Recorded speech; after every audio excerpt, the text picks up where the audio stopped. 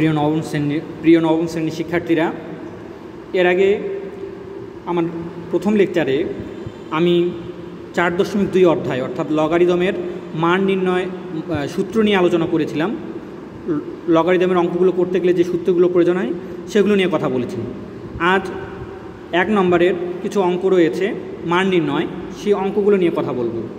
প্রথম দেখো একটা মান নির্ণয়ের প্রথম অঙ্ক log three base eighty one three base eighty ওয়ানকে আমরা লিখতে পারি লগ থ্রি এখন এটাকে লেখা যায় থ্রি টু দি ফোর মানে তুমি যদি তিনকে চারবার গুণ করো, তাহলে হবে এইটটি ওয়ান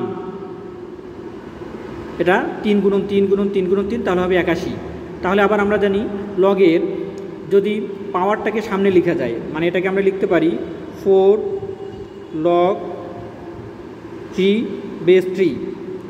আবার আমরা জানি লগ থ্রি বেস থ্রি মানে যদি এ বেস এ বা থ্রি বেস থ্রি এই দুটো মান যদি মিলে যায়, তাহলে তার মান হয়ে যায় ওয়ান তাহলে আমরা লিখতে পারি ফোর ইন্টু ওয়ান যেহেতু log a base a equal one equal four একইভাবে আমরা এখন খ নম্বর অঙ্কটার দিকে যদি তাকাই, তাহলে দেখতে পারব, ক্ষয়ে রয়েছে কি? লগ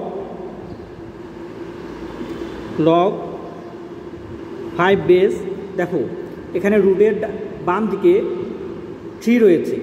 আমরা জানি রুটের মান হচ্ছে হাফ কিন্তু যখন মানটা এভাবে থাকবে, তখন আমরা এটাকে লিখতে পারি five to the power one by three অর্থাৎ এটা ভাগ আকারে আসবে।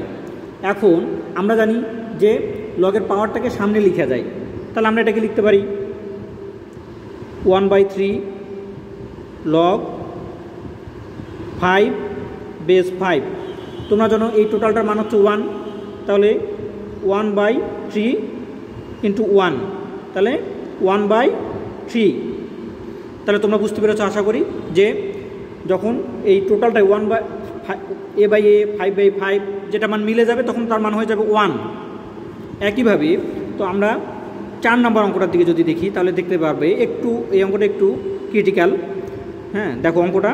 লগ কি আছে? টু রুট ওভার ফাইভ এখন এখানে আছে চারশো। চারশোকে কিন্তু আমরা ভেঙে লিখতে পারি ষোলো গুণন পঁচিশ। একটু লক্ষ্য করো, পঁচিশকে যদি ষোলো দ্বারা গুণ করো, তাহলে হয়ে যাবে চারশো। এখন এটাকে আবার লেখা যায় লগ টু রুট ফাইভ এটা বেসটা থাকল তাহলে ষোলোকে লেখা যায়? Two to the power four অর্থাৎ দু, দুইকে যদি চারবার গুণ করো, তাহলে ষোলো হবে। ইন্টু পঁচিশকে আমরা লিখতে পারি ফাইভ স্কোয়ার হ্যাঁ? পাঁচ গুণন পাঁচ, পঁচিশ। এখন আবার দেখো লগ টু রুট ফাইভ এখন two to the power four থাকল ইন্টু এটাকে আমরা রুট ফাইভ দিয়ে টু টু পাওয়ার ফোর করে দিতে পারি। কারণ রুট এবং স্কোয়ার কেটে যায়। এই কারণে আমরা এটাকে টুটাকে ফোর করেছি রুট নিয়ে। আশা করি বুঝতে পেরেছ এটা।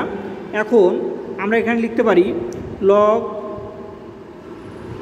two root five two root five two to power four তোমরা জানো লগের নিয়মে পাওয়ারটাকে সামনে লিখা যায়।